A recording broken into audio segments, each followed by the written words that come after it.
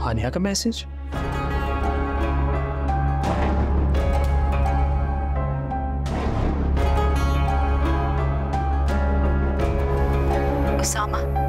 ये मेरा आखिरी मैसेज है।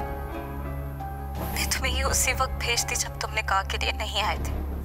लेकिन उसके बाद मेरी बच्ची कुछ साँसें बिया ने मेरी और अम्मी की बेइज्जती करके ले ली मैंने सिर्फ़ सिर्फ़ तुमसे मोहब्बत की है।